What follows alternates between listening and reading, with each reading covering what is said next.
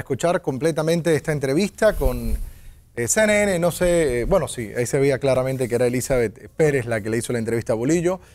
Lo que nos, queda en la duda, hay que preguntarle al jefe de prensa de la federación, Adán de Gracia, si eh, fue en Panamá, si fue en Miami, si fue en Nueva York. esta entrevista, ¿qué información maneja usted, Santos Cano? No, no, no manejo información al respecto sobre esa entrevista. Señor da Silva. Tampoco, tampoco. Habría que preguntarle. ¿La desayuno hoy en CNN? Sí, en verdad sí. Usualmente Adán nos adelanta, pero no. no. ¿Ustedes manejaban? No, no, no. Idea. ustedes que están metidos en las redes todo el Vamos a escuchar completa la entrevista de Hernán Darío Bolillo Gómez, el profesor, y Elizabeth Pérez de CNN. Eh, una entrevista en la cual el profe habla de, de que si nos llevara un mundial, le gustaría que le pusieran una estatua acá en Panamá. Vamos a escucharle y luego vamos a hablar sobre lo que dice el profe.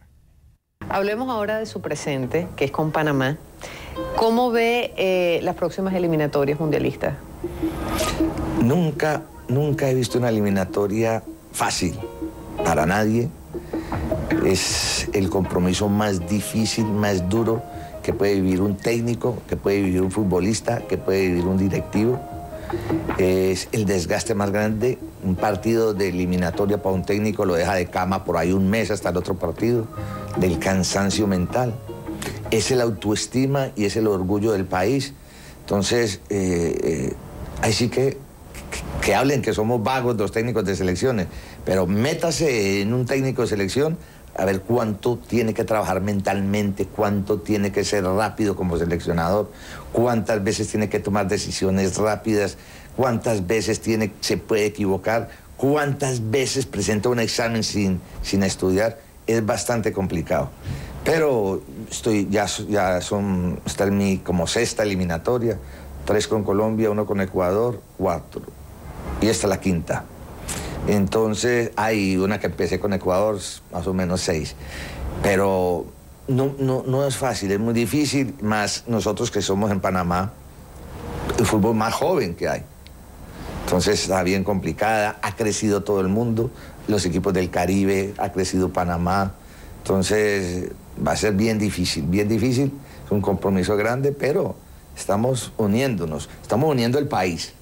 Estamos uniendo el país para que seamos todos, no solo Bolillo, los directivos, los jugadores, no. Venga que vamos a ganar todos o vamos a perder todos, pero unidos. La selección une el país, como fue en Ecuador. Después de esta fecha de eliminatorias va a venir la Copa América.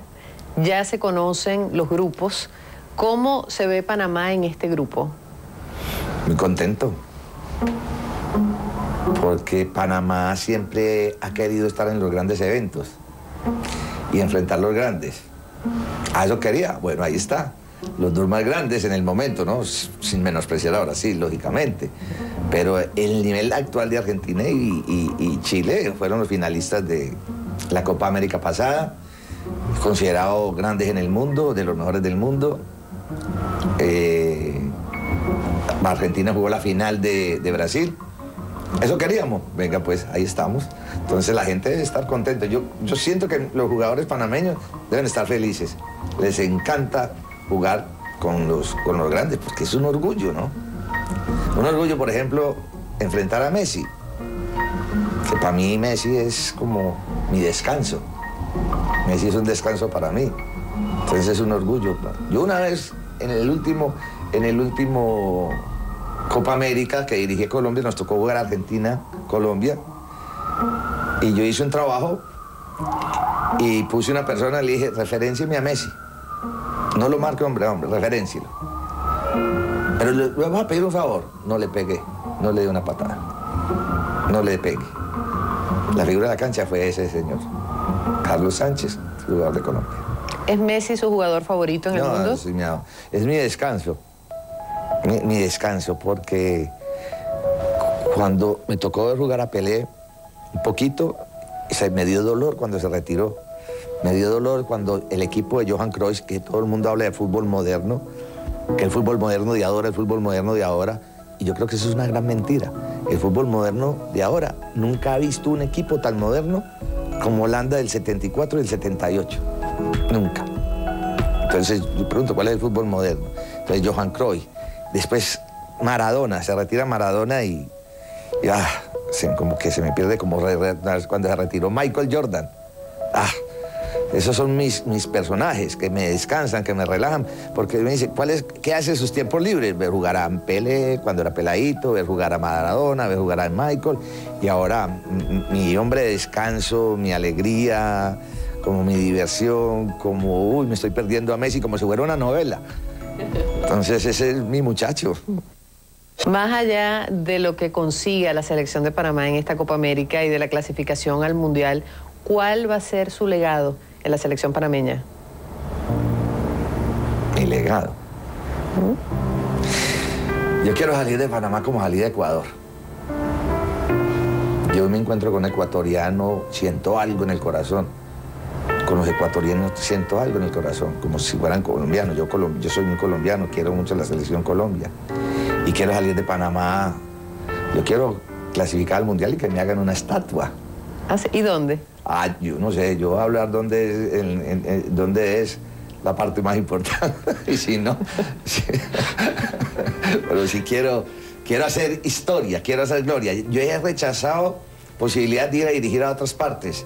Sí, eh, y económicamente, eh, yo no, yo quiero la gloria, yo quiero hacer historia en, en Panamá. ¿Qué es lo más bonito que le han dicho en la calle? Qué ojos tan lindos. y a nivel futbolístico. La, gente, la gente en Panamá, en Ecuador, espectacular, pero la gente en Panamá es, es, otro tipo de gente. La gente en Panamá a veces es seria, es seca. Y una vez me dice un tipo, ¡Hey, bolillo! Eh, yo soy medio, pasa, Dios te bendiga. Entonces, eso, Panamá se, me da mucha confianza. Usted que ha estado como jugador, como entrenador muy exitoso, como seleccionador. Como periodista, ¿no? Como periodista y comentarista de mundiales y de Copa América, por supuesto. ¿Qué le queda por hacer? ¿En qué se ve después que se retire del fútbol? ¿O nunca se va a retirar? Yo creo que no. Algo va a ser en el fútbol. Me gusta ser directivo después cuando ya no tenga alientos, pues, cuando ya esté de la edad de Ramón Cardós. Me gusta ser futbolista, eh, directivo. Eh, hay, cosas que, hay una cosa que me pareció tan bonita, que fue nombrado el mejor técnico de CONCACAF. Y si usted viera lo que yo he disfrutado eso, no, te digo que para mí eso ha sido como que me hubieran nombrado es un nombramiento, he disfrutado, digo, bueno, a estas alturas, después de haber luchado tanto problema, yo tengo un padre que es el padre Lineros. Y escribe un libro que llama El man está vivo, yo lo leo hace muchos años. Y justo un día él estaba hablando que hablando de mí y dijo que me felicitaba porque había tenido ese problema y me había levantado. Y justo al tiempo me viene ese, ese premio. Entonces me dice, bueno, este va a ser un año donde yo estoy con Dios. Yo siempre he estado con Dios, soy muy creyente. Entonces este, este es un año donde eh, Dios me dio la oportunidad de caer, me dio la oportunidad de caer, pero me ha dado la oportunidad de levantar, ¿sí? Que eso es bien importante. Cuando caí me levanté es, es decir, bueno, tengo cuero para luchar duro y poder seguir trabajando en Panamá. Bueno, pues muchísima suerte con esta selección panameña en, las, en los próximos compromisos que van a tener y por supuesto yo sé que su corazón también con Colombia. Muchas gracias. Bueno, a vos, muchas gracias también, un gusto. Bueno, era otra eh, faceta del profe, eh, al final hablando de, su vida ya personal, casi poco habló de, Panamá, ¿no? ¿no? No depuró, no fue una entrevista para depurar la selección, pero habló de la estatua, Percival Alpigot. Si Bolillo, el profesor, nos llevase a Rusia 2018, eh, ¿dónde le pondríamos la estatua? Mira, primero que todo digo algunas cosas que me gustaron, otras, otras que no, porque es como el cantante que viene a Panamá. Panamá es lo más bonito, él difícilmente había visto un país tan bonito como este. Pero sin embargo, después, cuando se va, medio millón de dólares. cantante de. Por lo menos y en el concierto toca con la camiseta de, la, selección. Esa es la clásica. Eh, dijo eso, eh, o interpreté yo eso. Lo de la estatua. Mira, yo eh, hice un comentario hace un tiempo en radio de fútbol y hablábamos justo recién cuando Bolillo llegó y yo le decía a Pedro Blasco que, si Bolillo no clasificaba, yo bajaba a Vasconuña de Balboa y subí a Bolillo. Eh, eh, hoy viendo la entrevista de Bolillo, eh, él dice que quisiera que le hicieran una estatua. Lo feo es que él lo diga, pero yo le doy mi voto a Bolillo, si él no clasifica al Mundial, que le hagan una estatua, y como decían los compañeros aquí, que hay, que hacerle una estatua a los jugadores también, pero en- en términos generales, a Bolillo yo doy mi voto para que le hagan una estatua. Si no clasifica, si no clasifica, bajamos eh, algunos de estos procederes que están de la historia, no sé, que vayan al que le dé la gana, pero que lo hagan. Evidentemente la estatua tiene aquí en el centro de la ciudad, ¿no? Que es donde más población hay, donde los, los visitantes puedan disfrutar, tocarnos y disfruta de, de lo que estoy diciendo. Pero bueno, eh, eh, dijo otra cosa ahí que entre tantas cosas quisiera verlo sonriente eh, cuando hace la conferencia de prensa los medios de comunicación en Panamá, Claro. así alegre, chistoso, agradable y no enojado, bravo por cada una de las preguntas. Después los demás, que le hagan su estatua si nos clasifican, para mí, ¿no? Sí, eh, señor Alexander da Silva. Sí, es que está claro que este es, parte del, del- del personaje, ¿no? Esto es Hernán Darío Gómez. Y uno ve cuando yo a Guatemala dijo lo mismo, si yo meto a Guatemala quiero una estatua, cuando salió de Ecuador repitió lo mismo. O sea, es parte de su personaje fue una entrevista a CN. Yo le, entiendo, es parte de todo esto de, de vender país, de venderse, de, de- de soy Hernán Darío Gómez, Panamá, qué lindo, lágrimas. Yo lo entiendo, ¿no? Pero creo que el tema de, una estatua, vamos a ver el tiempo, ojalá lo, haga. Pero aquí hay tantos temas de, la historia deportiva en este país que creo que decir estatua y él co- como, extranjero creo que es un poco delicado porque nosotros somos de, dados de no reconocer nuestros propios atletas y eso pasa mucho con el tema de, de un museo de deportivo que en el diario de la prensa hemos tratado de impulsar eso y no hay un museo deportivo en nuestro país. Entonces va para otro debate, ¿no? Porque uno va al Rommel Fernández y ¿dónde está la estatua de Rommel?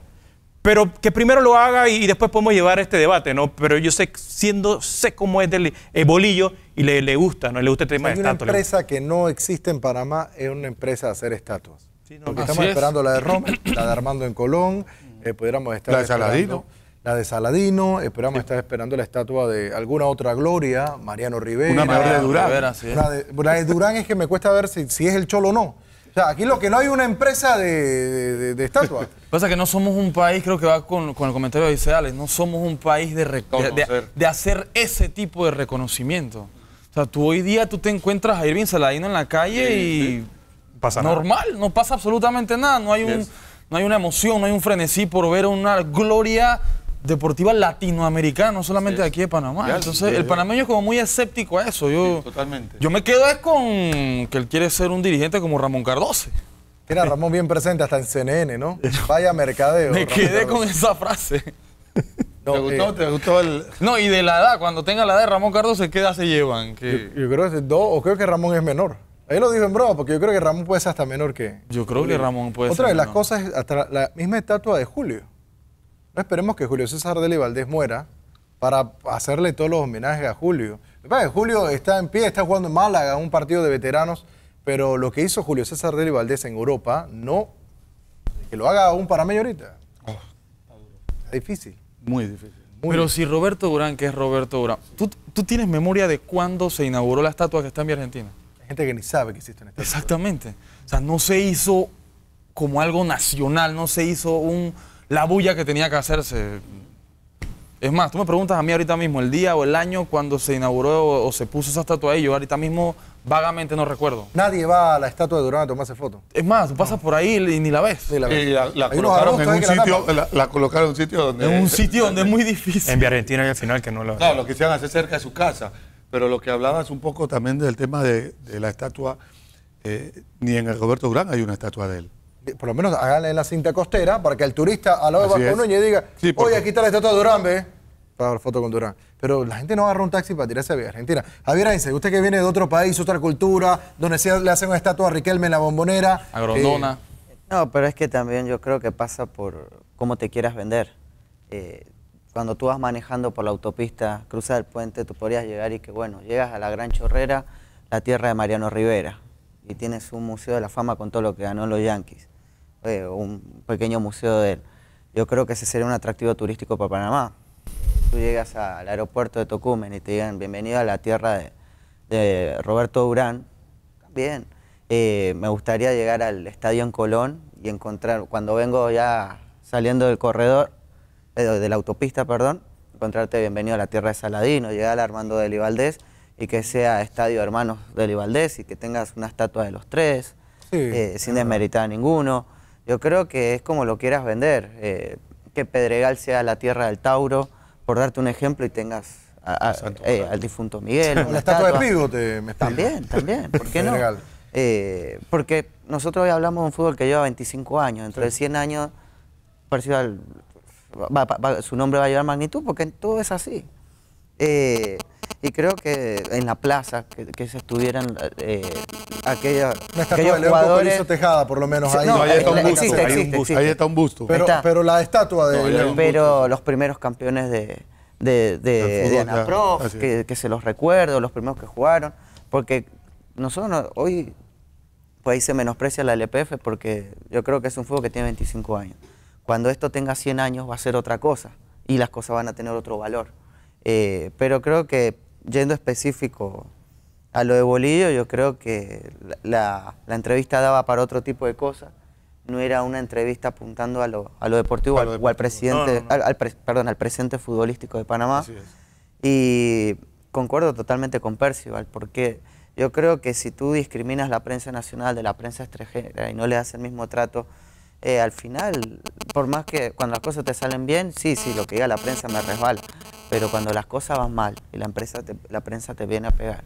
Venimos para mí de un proceso que para mí era bueno y la presión de la prensa para mí fue, fue factor en, que haya una no continuidad.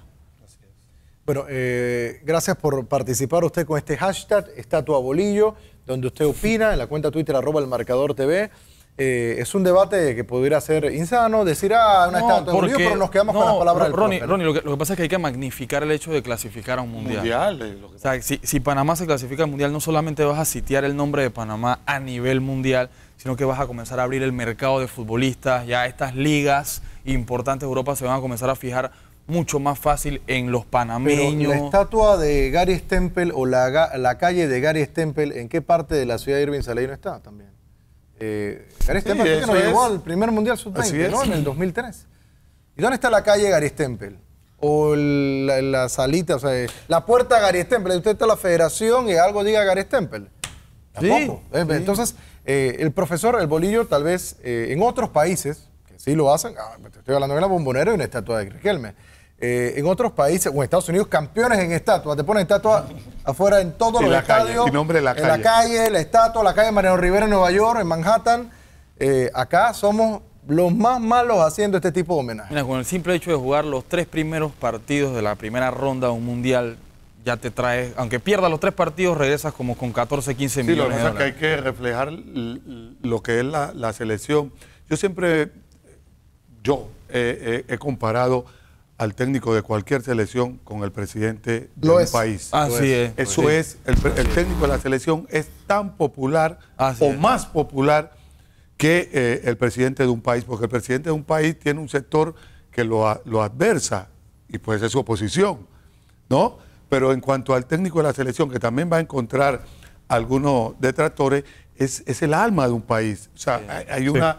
Yo no, yo no estoy diciendo que- que- que Es muy fácil, Percival. Hacemos el ejercicio ahorita mismo en Twitter. Que me mencionen el presidente de Paraguay y el técnico de la selección de Paraguay. Y todos Así aquí es. sabemos rápidamente quién es el técnico de la selección de Paraguay. Pero dígame usted en casa, ¿quién es el presidente de Paraguay? Así es el ejemplo es. de simple de Percival. Es más, ¿quién es el primer ministro de Curazao? ¿Y usted recuerda quién fue el que dirigió a Curazao en la eliminatoria? Muy fácil, es muy sencillo. Le llega más rápido una figura deportiva a, a- a la niñez, a la juventud, Claro, un presidente. Eh, tenemos que hacer la pausa. Ahí vemos algunos comentarios en la cuenta Twitter, arroba el marcador TV. Siga comentando eh, con el hashtag, la etiqueta Estatua Bolillo, que más adelante vamos a seguir leyendo algunos de sus comentarios en vivo. Vamos a hacer la pausa, la segunda pausa del marcador. Tenemos que comenzar a depurar la primera fecha, la primera jornada de la segunda vuelta de la Liga Cable Onda, a depurar esta décima jornada con resultados que pueden ser sorpresivos para otro. Era lo elemental, que ganara Chiriquí, que ganara el Arabonido. Todo esto luego la pausa acá en el marcador.